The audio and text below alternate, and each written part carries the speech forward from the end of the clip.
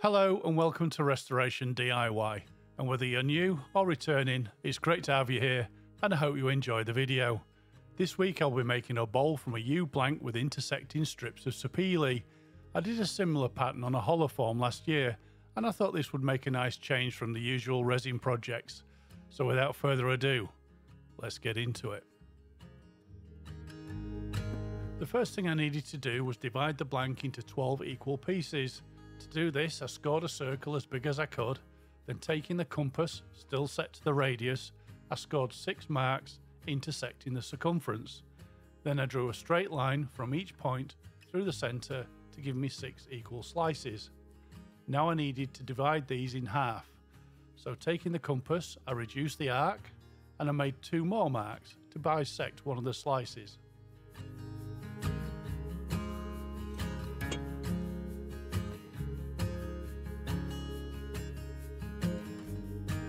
That done, using the new marks, I drew a line through the centre point. Then I reset the compass to the outer circle radius and made six more marks, beginning at the intersection point of the new line and the circle. Then I used the new marks to draw lines through the centre, which gave me 12 equal slices. Next, I could draw the intersecting squares. I drew four lines, each line was drawn from the outer intersecting points across three sections.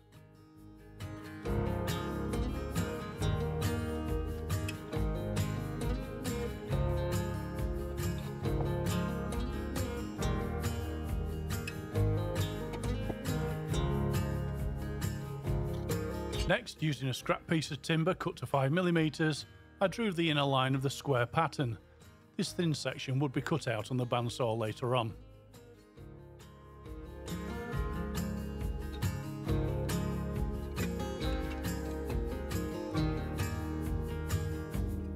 Now I had to mark out the two remaining squares. The outer marks were difficult to see, so I scored another circle which set out the inner lines and from there I completed setting out the pattern.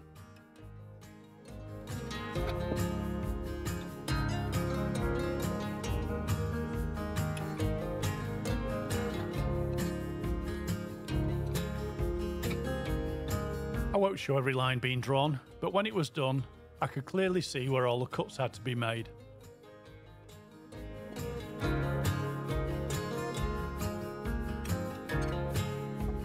All done, next it was bandsaw time. To make accurate cuts, I made a jig. It's my circle cutting jig, modified with a clamp and a new hole for the locating pin, drilled 63mm from the saw cut line. I'd previously drilled a corresponding hole in the centre of the blank. With the blank located on the jig, I used the bandsaw body to align the first cut, and then with it securely clamped in place, I cut away the first piece.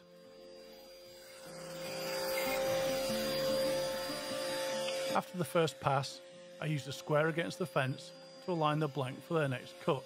This was repeated until all four cuts for the first square were done, not forgetting to number the pieces to keep the grain aligned.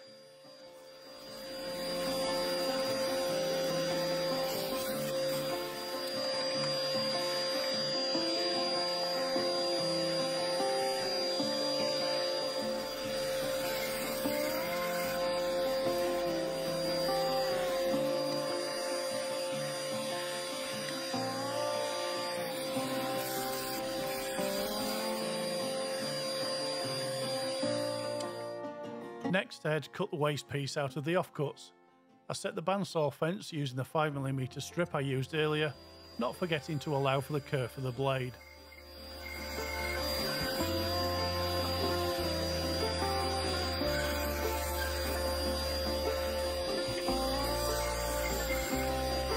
After cutting away the waste piece from the offcuts, I readjusted the fence to the full 5mm and I cut the sapele strips which I would use to make the feature intersecting squares.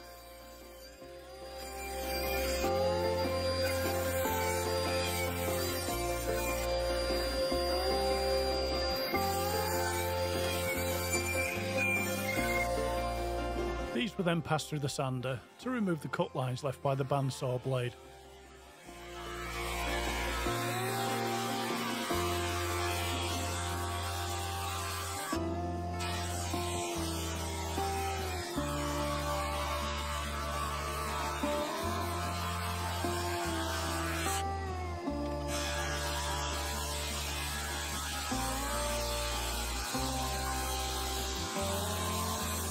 Sanding done, I then cut four mitered pieces of banding to form the first featured square.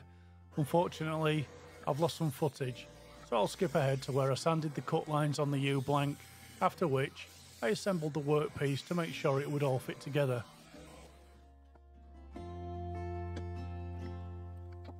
The mitres all went together very well, and once I'd realised the four offcuts were upside down, I moved on to the glue up.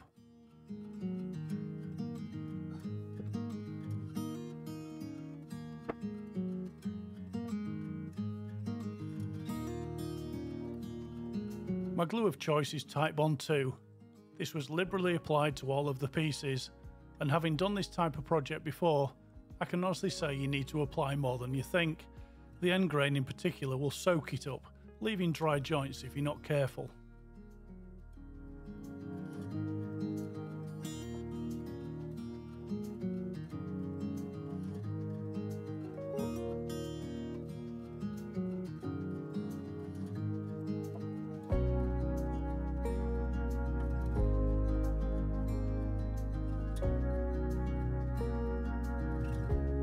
The glue was done, I used two hose clamps to hold it all together and to keep the joints nice and tight. Whilst clamping, I had to make sure things didn't move out of alignment, but once done, I left it on a level surface to cure for 24 hours.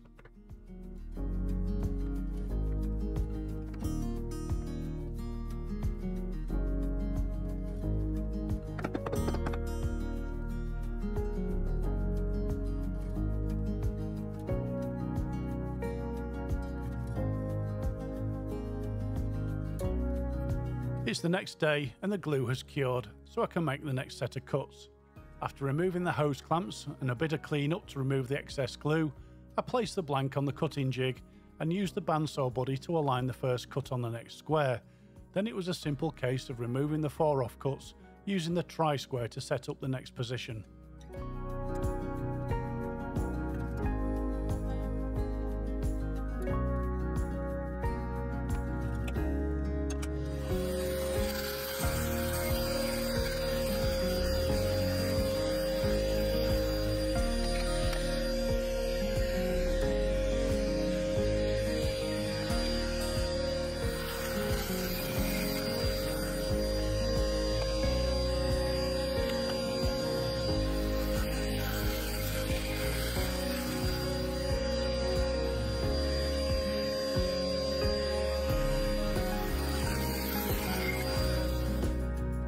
Next I cut off the waste strip from each of the offcuts.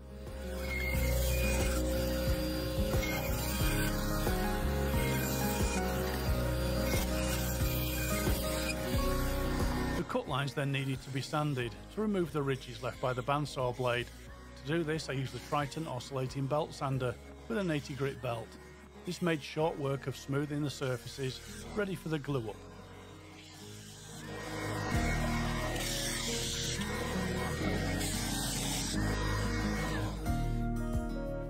Then I cut and mitered the Sapele banding strips using the miter saw.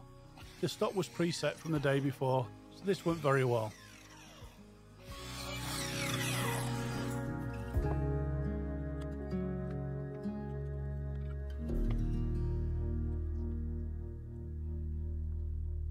And after a test fit to make sure everything lined up, I could do the glue up. Same as before, making sure I got all the surfaces well covered with Titebond 2.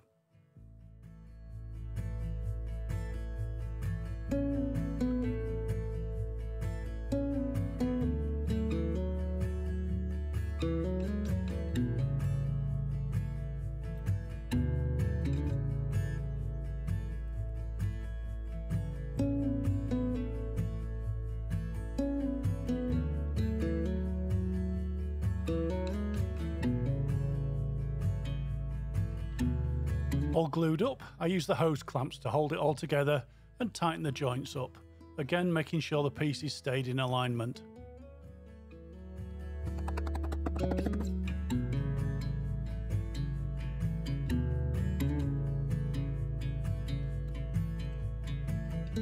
After a final check, I brushed the glue in to help it cure evenly and left it overnight.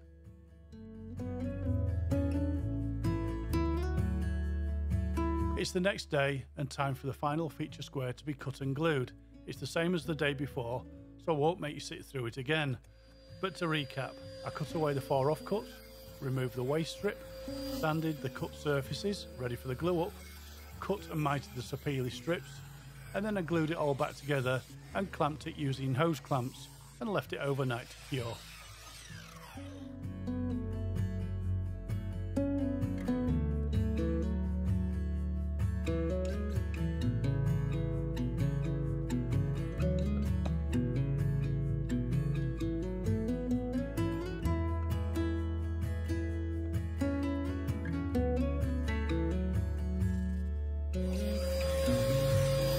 Has passed and it's time for the segmented rim to be made. To start with I cut a piece of sapele, the size is 60mm by 30mm and I think it was around 1 metre long. The 12 segments then had to be cut. For this I decided to use the mitre saw as it has a preset angle of 15 degrees which is the angle required on the segments. First off I cut the first angle cut then I marked out 75mm on the long side and I used this to set up the stop block. Then it was a simple task to cut all the pieces. After all 12 were cut, I sanded each one to remove the raggy bits and then I tried a test fit to make sure the angles had worked. The angles were perfect, so I clamped it using a hose clamp and did a test fit on the ball blank to make sure I had enough overlap.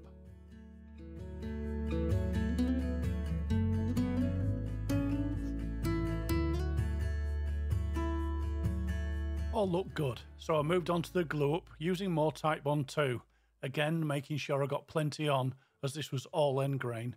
Then I clamped it using a single hose clamp and this was then left overnight to cure.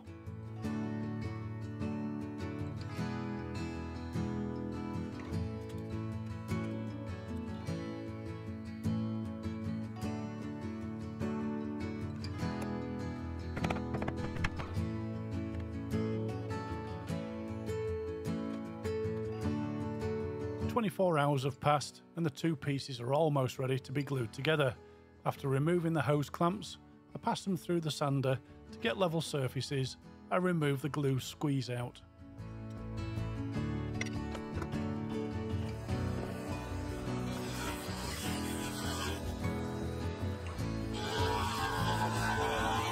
The sanding took a while, mainly due to the belt speed, so I'll just show the first and last couple of passes, but once done, I could move on to the final glue up.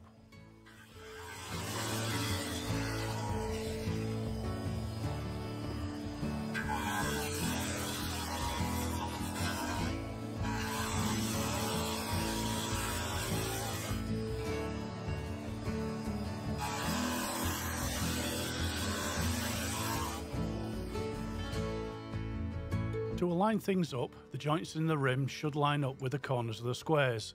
There was a bit of juggling to do, but once it was lined up, I traced the inner line and I made a couple of alignment marks. Then I applied the glue, and once I was happy it was in the correct position, I added a few spots of hot melt glue and then I clamped it using multiple spreader clamps.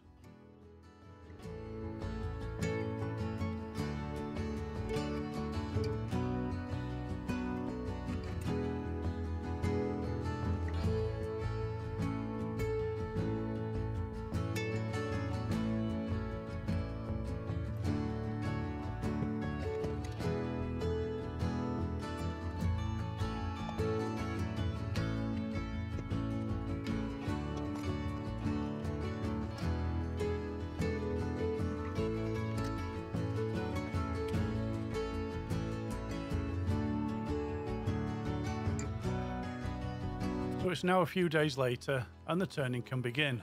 But first, after removing the clamps, I fix the blank to the lathe. For this I use the woodworm screw in the hole I used for cutting the squares on the bandsaw. This should keep everything nice and centred. Then using a chuck in the tailstock, I drilled another 8mm hole and I flipped the bowl around.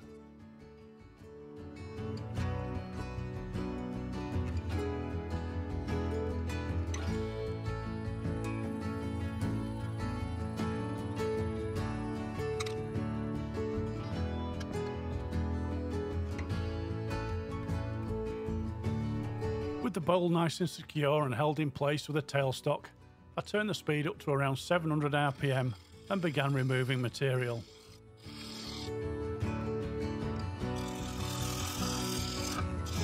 The rim seemed like a good place to start. Using the half inch bowl gouge, I set to getting it to round. This also got it much better balanced. Then I moved on to the lower section.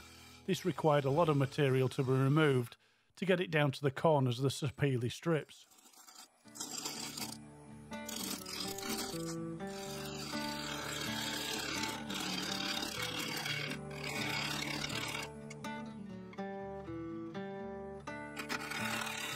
I used a combination of push cuts and shear scraping, gradually working my way through the waste material.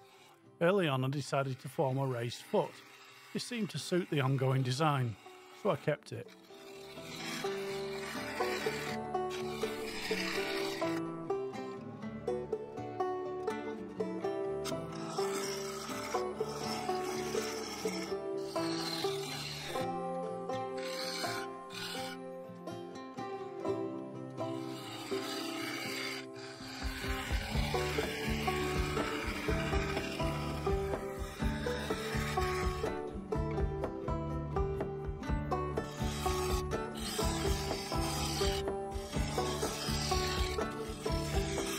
I got close to the finished diameter, I turned my attention back to the rim.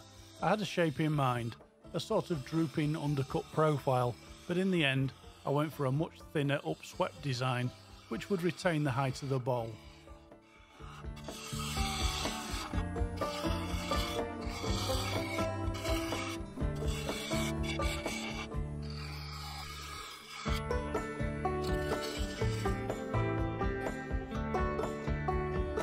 With the rim roughly to shape, I went back to the lower section, cutting away material, getting the shape much closer to what I had in mind. All was going well, that is until I decided to use the skew chisel to fine tune the surface.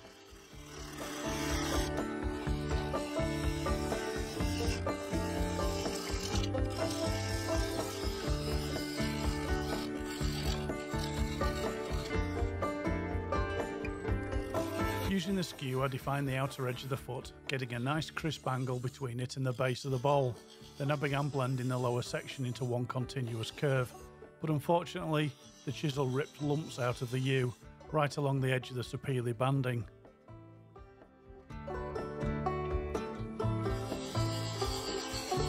I still had a bit of material to play with, so taking the bowl gouge, I carefully cut away thin layers, stopping frequently to check my progress and the good news was that the tear out wasn't getting any worse.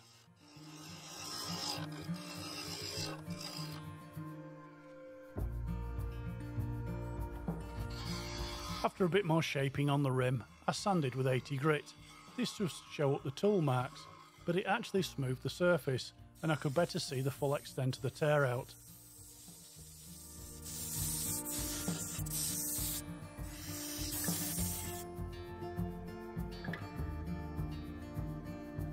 To repair the voids, I tried sawdust and superglue, but I only had medium thick, so the best I could do was make a paste and push it into the holes. This didn't work so well, and the results, well, they always look like sawdust in superglue. So I had a think and noticed a black spot in the yew, so rather than trying to hide the problem, I broke out the black Starbond.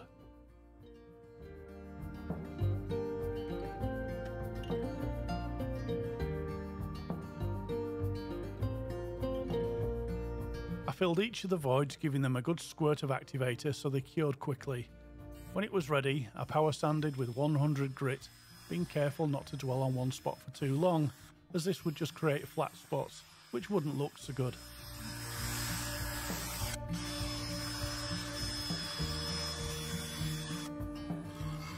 Voids filled, I went back to the final shaping, this time using a 3 8 bowl gouge. I stayed away from the bowl itself and refine the shape of the rim and the base.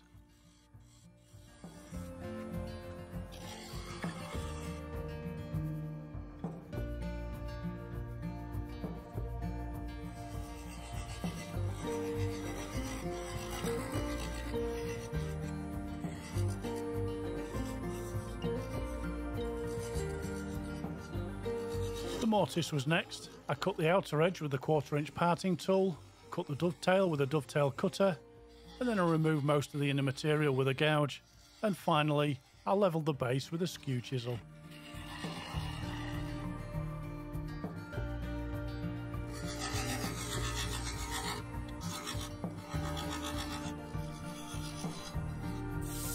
Mortise more or less done, I sanded the outside from 80 to 400 grit. Then I cleaned down with denatured alcohol. Then I applied sanding sealer, which I denibbed with a non-abrasive scotch pad.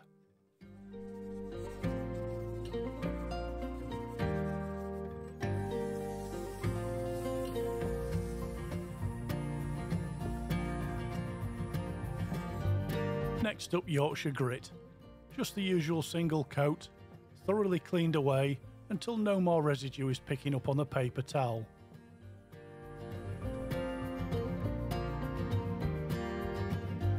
Quickly followed by Wood Wax 22, a single coat, buffed away with more clean paper towel to leave a deep sheen.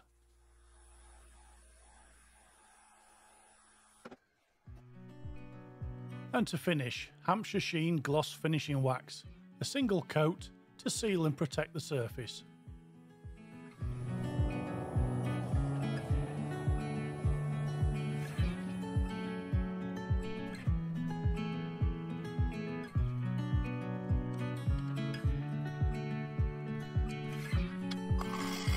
Now we're on the home stretch. With the bowl turned around, I can begin hollowing out. For this, I use the 3 8 bowl gouge, removing material from the rim, beginning to form the upper section. At this point, I wasn't 100% sure how I wanted it to look, so I left a fair bit of meat on it, whilst I started on the joint between the bowl section and the rim segments.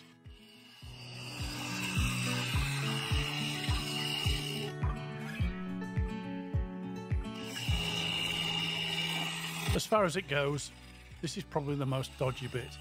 I don't have any wall thickness calipers, so I was having to judge this by feel, and it already felt very thin to me. But I had no choice except to keep going, cutting away material until I got a clean transition between the two pieces.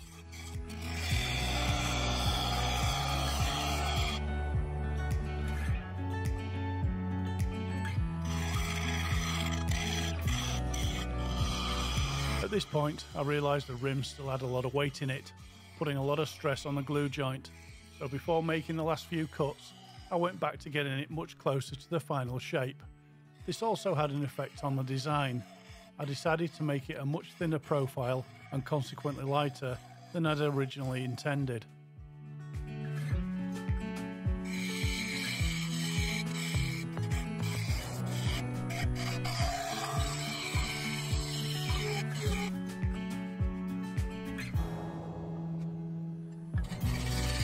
Most of the weight removed, I was more confident that nothing bad would happen, so I began hollowing out the lower section. This is where the featured banding began to show its final pattern, and it looked a lot better than I thought it would.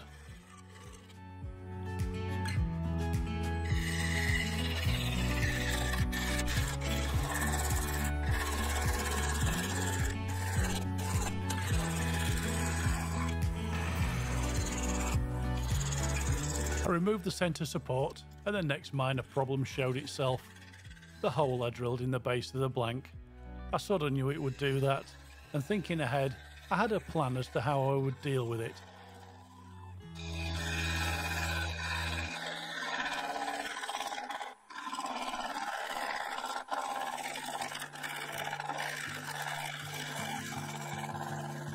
From a plug cutting set, I used the countersink bit to clean the hole up then I drilled a plug in a spare Sapele segment, and with some super glue and activator, I plugged the hole.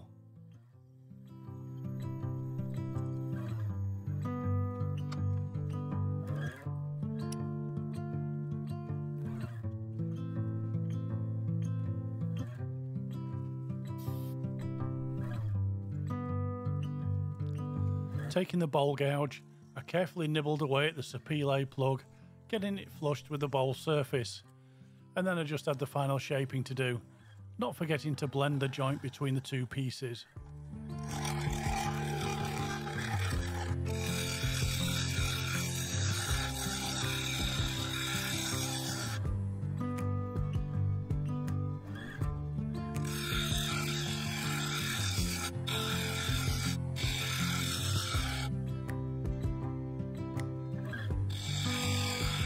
Gentle shear scraping, I managed to get the smooth transition between the rim and bowl. I finished the rest with some work from the skew to tidy up the outer edge, and then I used a side cutting bowl scraper to blend and fair it all together.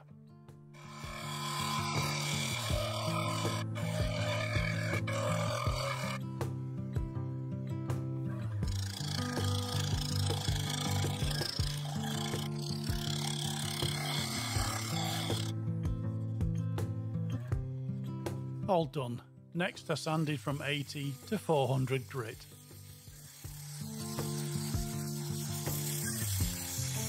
Then I applied the finish, the same as before.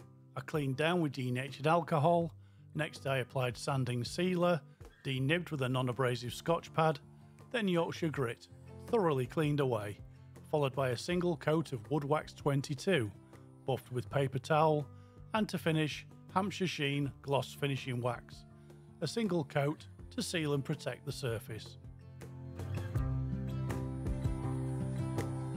Off camera, I trimmed the Sapele plug, sanded and applied finish to the mortise.